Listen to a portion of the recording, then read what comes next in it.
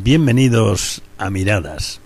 En nuestro diario recorrido por el libro de los Salmos ya estamos llegando al final del Salmo 82 y a la vez estamos también terminando la colección de los Salmos de Asaf, pues solamente nos queda el Salmo 83 para terminarla.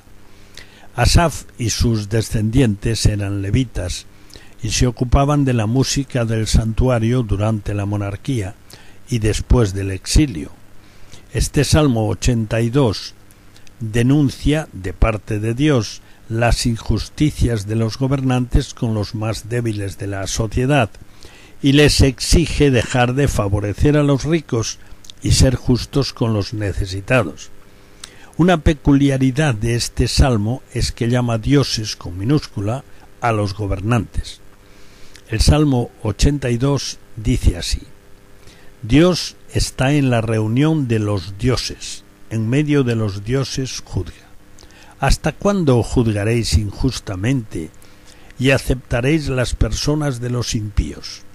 Defended al débil y al huérfano, haced justicia al afligido y al menesteroso, librad al afligido y al necesitado, libradlo de mano de los impíos.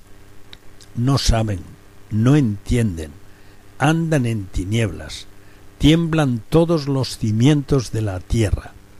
Yo dije, vosotros sois dioses, y todos vosotros hijos del Altísimo, pero como hombres moriréis y como cualquiera de los príncipes caeréis. Levántate, oh Dios, juzga la tierra, porque tú heredarás todas las naciones. Ahora, tras leer el Salmo, Recordemos que el Salmo llama dioses con minúscula a los gobernantes y les exige ser justos denunciando sus constantes abusos contra los pobres y favoreciendo a los ricos.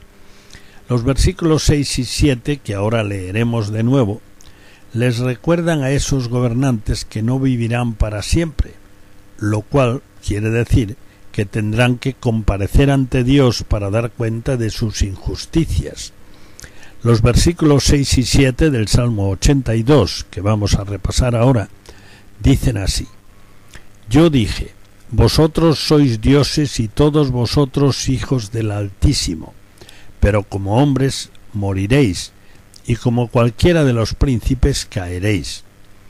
La primera frase es chocante, pues llama dioses a los gobernantes, tal vez en el sentido de que impartían justicia y gobernaban, aunque fuese injustamente. Esta frase es citada por el mismo Señor Jesucristo en el mismo sentido. La frase dice yo dije, vosotros sois dioses.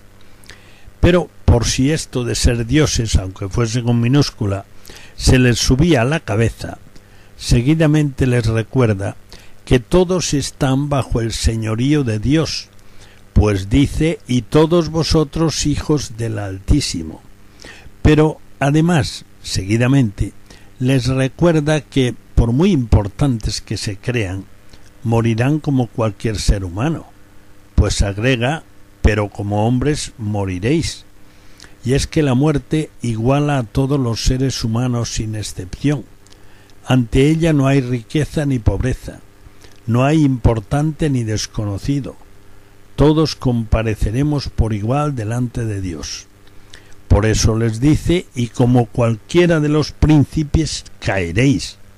Aunque no seamos importantes, sí es importante que recordemos esto. Todos tenemos que comparecer ante la presencia del Dios eterno para dar cuenta de nuestras vidas. De nosotros depende que tengamos que agachar la cabeza poco o mucho.